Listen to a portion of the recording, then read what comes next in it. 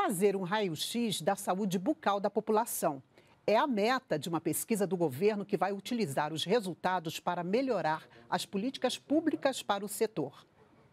É a terceira edição do estudo que vai ser realizado este ano em 395 municípios e em todas as capitais. A Pesquisa Nacional de Saúde Bucal coleta dados para facilitar a elaboração de políticas públicas na área e garantir tratamento odontológico a toda a população.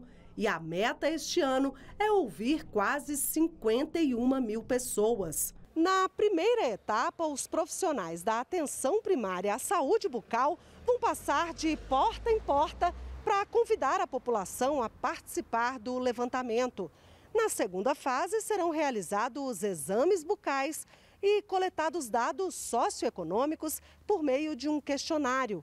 Vão fazer parte da pesquisa pessoas de cinco grupos com idades que variam de 5 a 74 anos. Com estas informações, vai ser possível identificar as doenças bucais mais comuns entre os brasileiros, como a cárie dentária e a doença periodontal, que é a doença da gengiva, além da necessidade de próteses dentárias, traumatismo dentário e o impacto das condições de saúde bucal na qualidade de vida. A gente sabe que é, os serviços odontológicos foram muito afetados no começo da pandemia, né? então isso restringiu muito o acesso da população, porque os dentistas é, não sabiam exatamente como atender, como lidar com o vírus.